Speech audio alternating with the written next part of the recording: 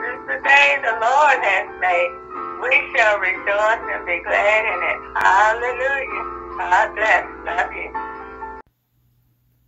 Hey, everybody. Hey, I'm glad you're back. And I'm keeping you in prayer, and I hope you keep me in prayer concerning this uh, coronavirus.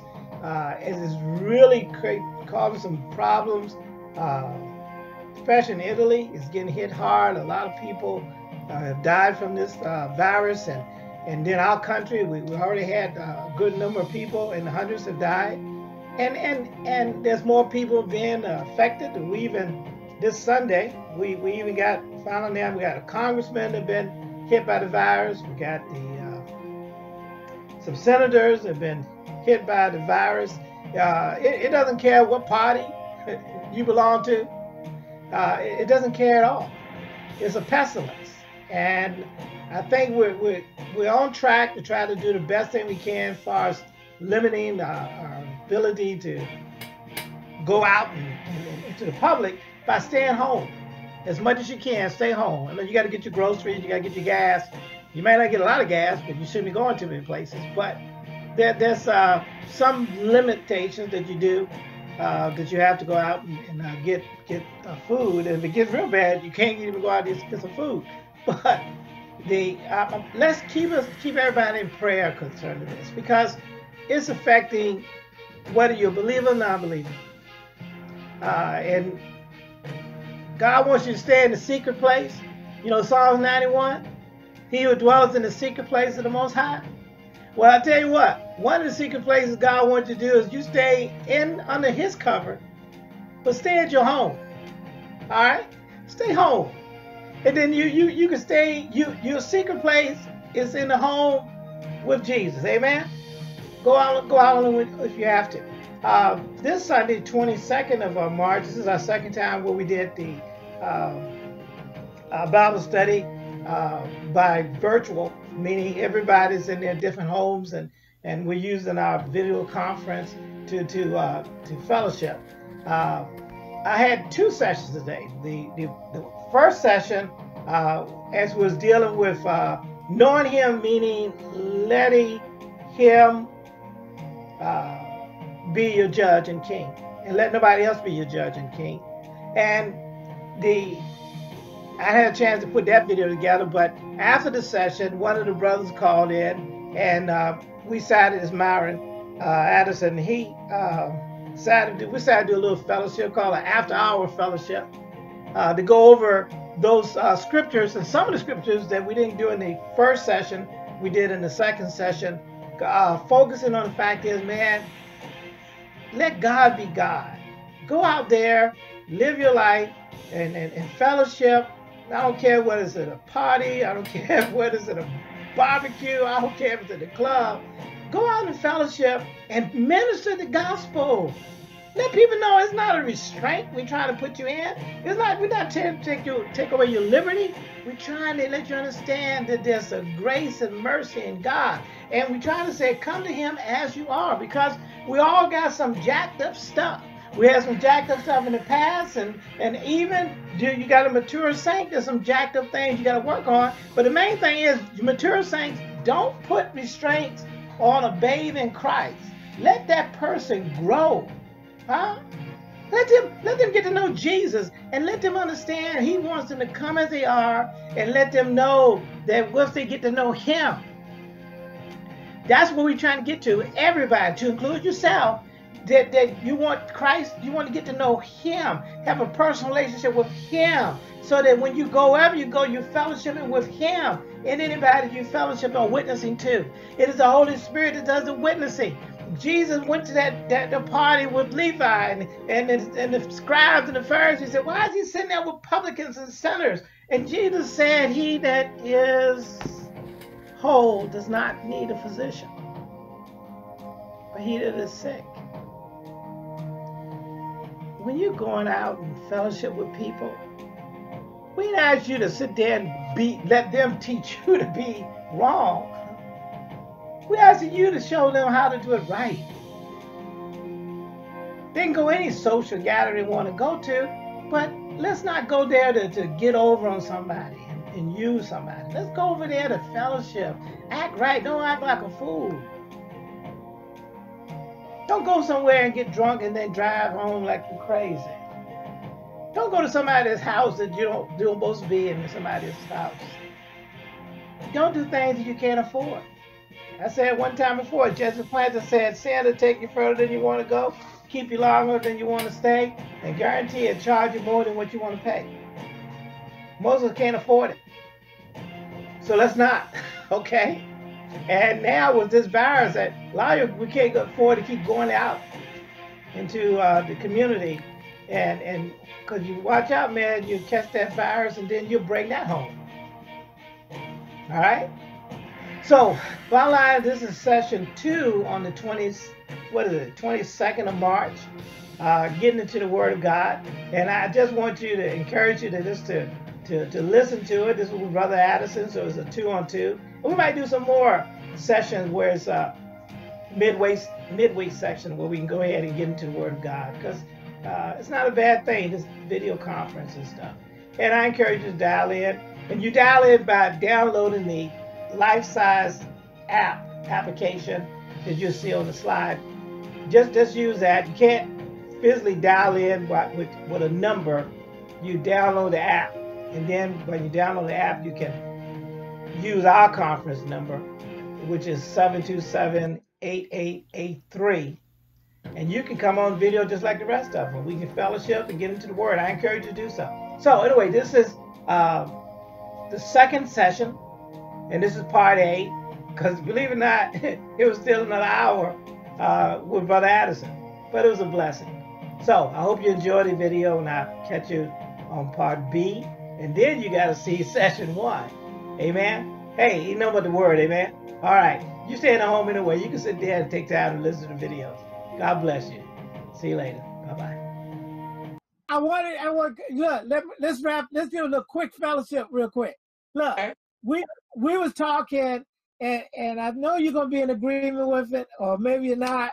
But what I did yesterday, and we talked about it today, was that as a as a believer, sometimes it's not just the religious or the traditional church people that put you down if you're drinking a beer or wine or whatever, but or going to the club or fellowshipping to a party or barbecue or whatever, uh, or dancing.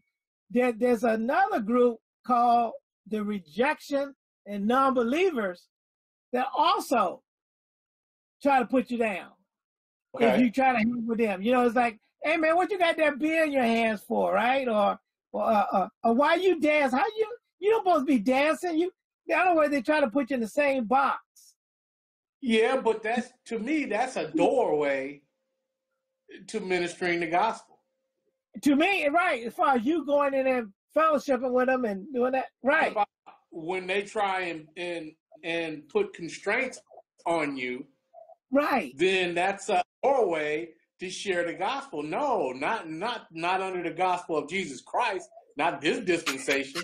Let me let me Come explain brother. a few things, you know, and then go into that. You know, I'm Right. free. I'm free from all condemnation. There is no condemnation to those who are in Christ. You know, there's nothing about fear that's gonna send me to hell. There's nothing about me out there dancing that's gonna send me to hell. The only thing that's gonna send me to hell and you is to not Uh-huh. to deny Christ as your Lord and Savior. So hopefully you have accepted him as your Lord and Savior. But it Right. seems like you know the law. So Come on. you're you're you're constrained by the law and rightfully so if you're not if you have not accepted Jesus Christ then yes this law is for you Man, you did You know, it. That is, yeah. You are Oh. perfect. That's exactly what we're talking about. We said the fact that people that try to put you in a box, and I said in my video uh, yesterday, was they put you in a box to justify why they're not in the box. yeah yeah now if this brother is actually saved you know I don't think he would and, and that's how he believed I don't think I would run into anybody like that in a club Right. You know what I'm Right. saying? If I was Uh-huh. in a club, I don't expect to see somebody who's going to tell me, you know, why are you drinking? Why are you in this club? No, You I know. find out. I find out. I'm trying to say. I seen where, uh, where, uh, where it's not this. The person is supposed to be saved. No, It's- but it's- I, it's I understand. I understand what you're saying. That it's Yeah. the unsaved people that that know more about the law than most Uh-huh. saved folks. But the problem is, they they are under the law and we're not. That- That's Exactly. where it stands for, which is which made so much sense. You know, the church was always talking about they're trying to take uh the Ten Commandments out of these public areas and all that stuff. And I was like, yeah, they are because they apply to them. Why wouldn't they? Come on. I said they, they don't apply to us. so so that that that right there is just tearing them up every time they read. All ten of them, they fall in there somewhere. Yeah. So they're being condemned by him. So naturally, yeah, the world wants to remove that out of public Right. area. Naturally. So Yeah. understand the law. You can, you can ask probably any unbeliever, you can ask an atheist, and he can tell you some, some laws of Moses. Right. You know Yeah. Because they are subject to them. To them. All of them. What is it? 300 and, and what? How many? What are you talking about? Oh, those. Oh, don't know. oh, all those other sub laws, right? But they can't even keep up with the ten laws. What I'm saying. So, but the Bible talks about if you can't keep up with one, you know, if you miss one, That's you it. all of them. Exactly. You know, so so that that you know that is what it is, and uh if they come on to me, they they basically they just open the door that they really don't want to go into. I know. You, you're perfect because one of the things we said is, you know, that one, one of the scripture we used, man, was the, uh, let me show you something real quick. Uh, we was showing uh, where John the Baptist was, uh, Jesus said that John came neither eating nor drinking, right? And, and, yet you call him that he had a devil. Uh, did you ever see that? Remember that scripture? Yeah, yeah, I remember that. And then Jesus said, "I come drinking."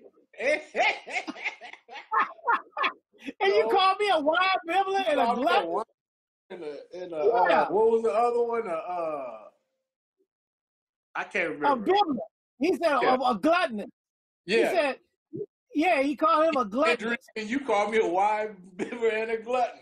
So Yeah. like it don't matter with with this world and the way they think, they gonna find something wrong. Man, and that's a trip.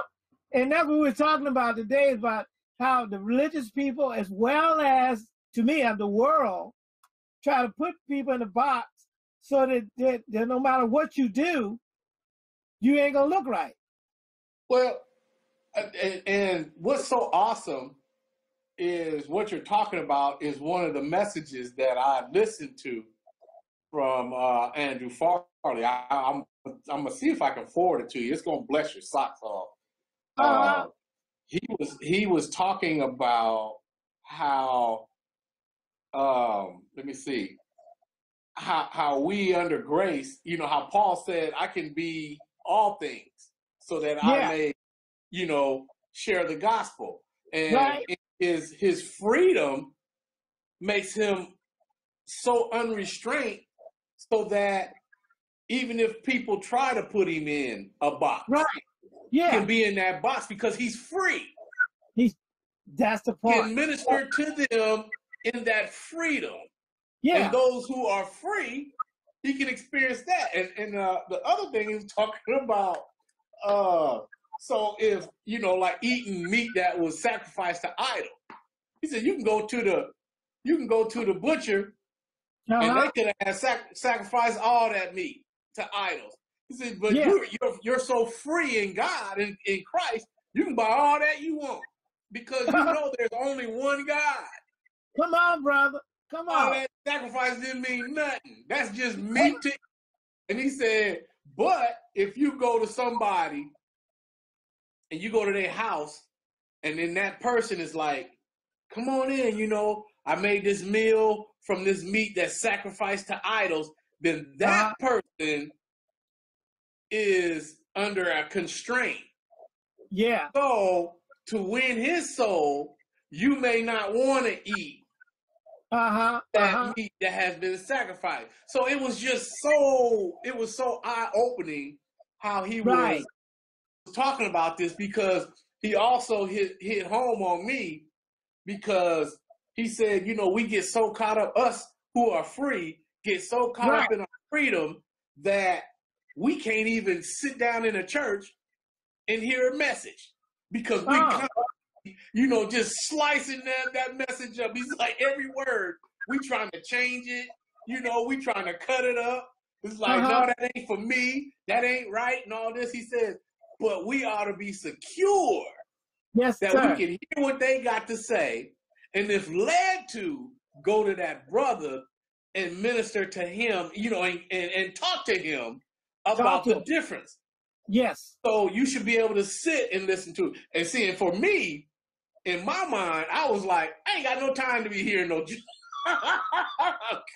You know, if I want to Yeah, hear, right. if, if I'm gonna spend my time in in in uh in going to a so-called church, you know, because Right. we are the church, you know, we are the church, but going to a a, a local body, if Come I'm on. gonna go there, I want to hear the gospel. I on. want everything to line up and point to Jesus Christ, and if it don't, it's pretty much wasting my time Right. because I need to know who I am and who's you? Come on, bro. Come on. in Christ. I need on who I am because you can't add not one iota soul, Nah, spirit that's the whole point. life. All you can do Right. is show me who I am. Come That's on now. You trying Right. to tell me I got seven steps to to righteousness? I'm getting up and I'm leaving because I'm already righteous. Y'all, y'all may need that. you might need it, but we don't. know Come on, bro. Yeah. Here's these these four steps to holiness. I'm already holy. Yes, You sir. know? So so for me to sit up under something like that, it- it's it's a waste of my time, and I'm not even going to be paying attention anyway. But I, I know. do know that ahead. uh, it takes that for some people to get to the next level. And I do understand that because it, it that's what I had to go through. All that I experienced in my life got me to where I am today. Amen. And that's what it's all about. But I also want the people to say it's a liberty, like you said, that freedom. They they they thinking that they can't be a Christian because they don't have freedom. And they don't understand you have freedom. It's not freedom to hurt people, but the freedom to enjoy your life, the leisure you want it to be. If you want to sit like I like the time you're sitting at the uh at the patio and you Uh-huh. you had coffee and stuff, but it's just to be able to say, hey, I want to. If I want to sit out there and have my uh, uh, hot dog and beer and wine or whatever, that's what I want to do. Yeah. I ain't hurt nobody, right? Yep. And and and, and I'm, some of those people don't come to church because they feel they can't do those things. And that's the thing. You know, a lot of people, you know, and, and God forbid, and it breaks my heart, you know, you get these people, they're coming in because, you know, they don't reach rock bottom. They ain't got nowhere Right. else, you know, or or, Yeah. or there's a hurt that they need they need answers for. You know, they lost they lost a, a loved one. I mean, it could be any myriad of things. You know, they strung Right. out on dope, they tired, they just looking for the answer. And we always say, you done tried everything else, try Jesus. And so they finally go and try Jesus. They get all this love coming in the door. And then all these rules come right behind. All of a sudden, all these constraints of what you can and what you have, where you can and where you cannot go, who you can and who you cannot be. And they trying Yeah. to do the work of the Holy Spirit, and the Holy Spirit is like, hold up. You know, What's up? What y'all putting these rules on me for? Right. And we run them away. So the thing is, until they show them who they are in Christ, they ain't gonna never move forward. No, You know, they won't. You get these people and- who who genuinely accept Jesus Christ as their Lord and Savior, and then they're stuck. I remember Right. uh, what was that show? Uh, Interview with a Vampire. You ever watch that? Yeah, that was a Tom Cruise, wasn't it? Tom Cruise, and he turned that little girl. Yeah. So she was forever that age, and she despised her life Uh-huh. because she was stuck Yeah. that body with all that knowledge, but she could not grow and be an adult. Deep. That is most Christians. Wow. Get saved and they're stuck in that immature body and they're getting all this knowledge, but they can't grow because they don't know who they are in Christ Jesus. Right. Right. They want to be. Oh yeah. Matter of fact, were you when we did the uh, John chapter three? Were you there when we did John chapter three? And with you remember that one where we said it'd be wrath and God? No, I wasn't there. I don't. Look- I don't. that. You got your Bible with you. I always got my Bible because I got my phone. Uh, yeah, check out the. Uh, I'm trying to figure what's wrong with my computer here, but uh, what's going on here? My camera ain't working for some reason. I got you, but I'm saying my other camera for some reason. I'm trying to figure out why it ain't come on. But anyway, the uh, look at that for me, and I'll tell you what I'm looking at when you get a chance. you talking about Nicodemus? This is no John chapter three, right? I want you to verse 18 to 21. Okay, eighteen. That believeth on him is not condemned, but he Uh-huh. that believeth not is condemned already, because he has not believed in the name of the only begotten Son of God. And this is condemnation that light is come into the world, and men love darkness rather than light, because their deeds were evil. For everyone that does evil hates the light, neither comes to the light, lest his deeds should be reproved. But he sir. that does truth comes to the light, that his deeds may be made manifest, that they are worked in God. Man, that's Yeah. awesome. and see the thing about it, you know what wrought means? Did we tell you about that?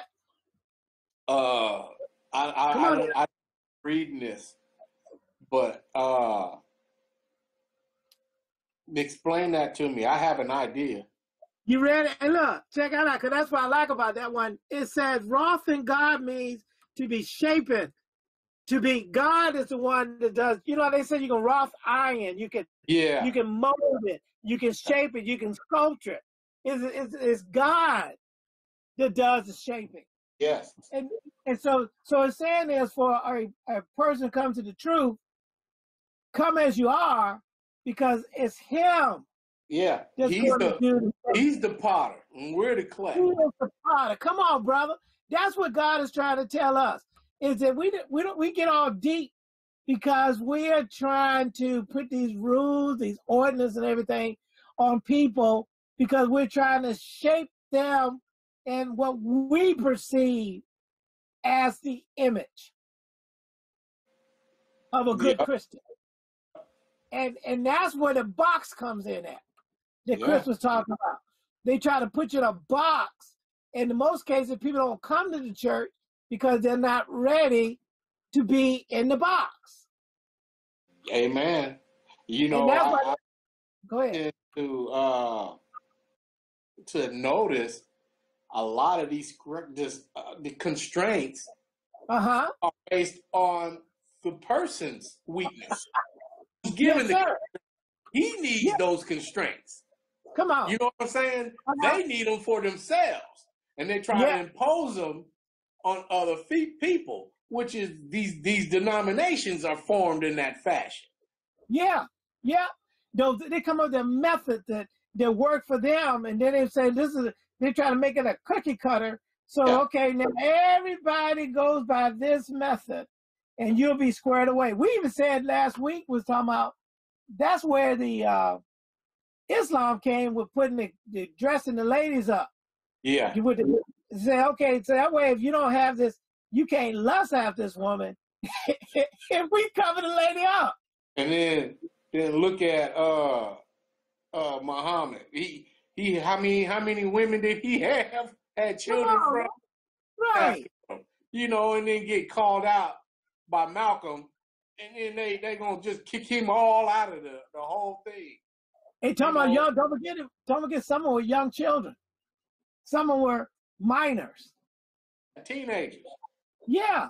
That I mean, so just putting them putting them them clothes on them ain't gonna stop what's in your heart. It ain't gonna stop gonna do that is God. God's the only Exactly. reshape, refolder. He he. If there's a thing on this earth, a human, the only thing that's gonna re rechange, replace it, change it is God.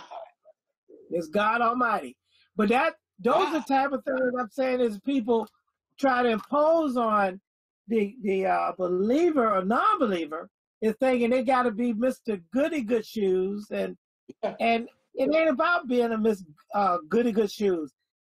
It's all about just believing and then to me once again that scripture I was talking about John is we just want somebody to come to the light and let God do the shaping. Let Yeah. God do the most. That's it. And if It's we if we get out of the way, God. That, that's it. The bottom line, just believing who God says you are. right? Believing what God says you are and, and, and what God says you can do. And Come on so now. ain't got nothing to do with your ability, with Nope. your strength, with your weakness. Nope. Just a belief. So everybody. Now you talking about Everybody. you talking about equal opportunity. the ultimate opportunity right there that anybody is capable of believing, don't matter your age, Doesn't matter your weight, your size, color, your, Yep. your strength, none of that. Nope. Just Matter of fact, I- what you believe. I had a friend of mine yesterday. I was talking to him. He was talking, you know, about the Egyptian thing, right? He he was he was upset, not upset, but he's saying is the reason he doesn't reject Christianity, he doesn't accept Christianity because he feels that the Egyptians of old created all the religions of today. That all the stuff spent off of Egyptians. Uh-huh. And, then, and then I said, check it out. This is a piece you want to catch into it. So then he said is, so I said, well, well, let's study them and see what they believe in. Let's hear their message. And he, he gave me a, a, video screen and he had sent it before of the laws that they believe in, because they did believe in an afterlife, right? Uh. And they, the, the person was doing the video said is that you have to follow every morning. You have to sit there and recite the 42 laws that you're supposed to accomplish Uh-huh. daily. At the end of the day, you're supposed to say which laws that you failed to do and ask for forgiveness. And then when you eventually die, you're going to be weighed to get into what they call heaven. You're going to be weighed on a scale, and the scale is going to be your heart versus a feather. And if the feather is is heavier, is we call lighter than your heart, then you've been out of balance and you can't get in. Uh-huh. And on top of that, if you if you fail the scale, then you got to be judged by I think they had like twelve by a jury anyway. And and and if if they don't judge you worthy, you can't get in. And I told him, I said, well, brother, I don't know about you, but I can tell you, I can't even fulfill ten laws, let alone you know, let alone 40. 42 laws. Me too. but if you if you can uh if you feel you can do that, uh, you go ahead. I, I want to encourage you to see if you can do 42 laws One day. a day. no, just do it for one day. Just do all I know. 42 day. Because I know, One day. let me tell you something, Pastor. This is my testimony. At one point, I was in Okinawa. Okay. And, uh, and I am not going to sin today. Okay. You said that. You Dude, said I'm that. do. I'm not going to sin. Woo. Okay. I am going to get through this day Uh-huh. without committing a sin. That Okay. includes driving the speed limit, you know, not saying anything out of order, and all Woo. that.